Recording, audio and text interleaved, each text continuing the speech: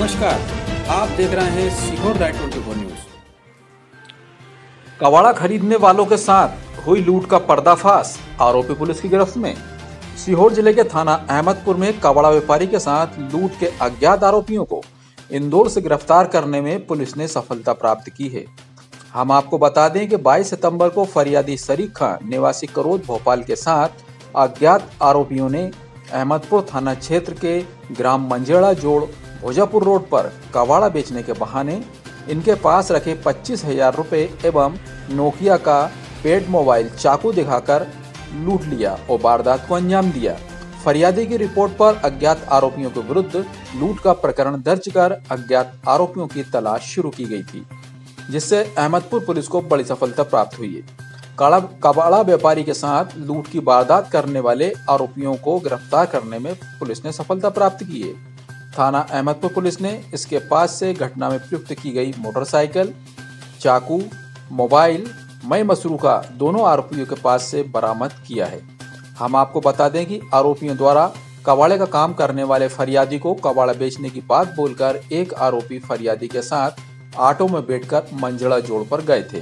पीछे से दूसरा व्यक्ति मोटरसाइकिल से आ गया और दोनों आरोपियों ने सुनसान जगह पर फरियादी को चाकू दिखाकर जेब में रखे पच्चीस हज़ार रूपए नकदी और मोबाइल को लूट लिया।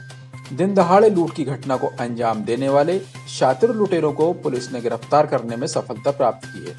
सर ये फिल्मी स्टाइल में दिन दहाड़े लूट की घटना को अंजाम दिया था इसमें आरोपियों को पुलिस ने कहाँ से पकड़ा क्या था पूरा मामला?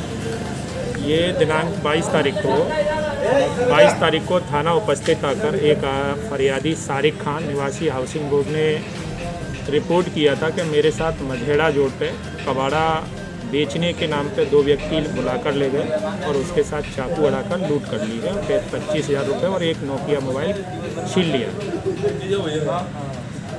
आरोपी को सर कहाँ से पकड़ा है पुलिस ने?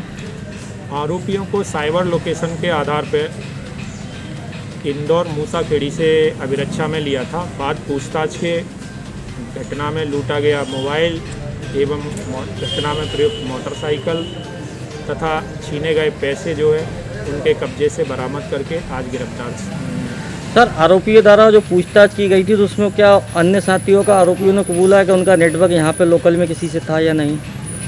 नहीं ऐसा नहीं है चूँकि एक आरोपी यहाँ का पुरावर सरहदी थाने का स्थानीय निवासी है लेकिन विगत 10 वर्ष से इंदौर विराटनगर में किराए के मकान में रह रहा है किंतु उसका अक्सर इस क्षेत्र में आना जाना है। लेकिन कोई रजिस्टर्ड अपराध वगैरह रजिस्टर्ड नहीं है अभी तक के रिकॉर्ड खबरों में अभी इतना ही। आप देखते रहिए सीहोर लाइव 24 न्यूज़। हमारे चैनल को सब्सक्राइब करें, लाइक करें और ज़्यादा से ज़्यादा शेयर करें।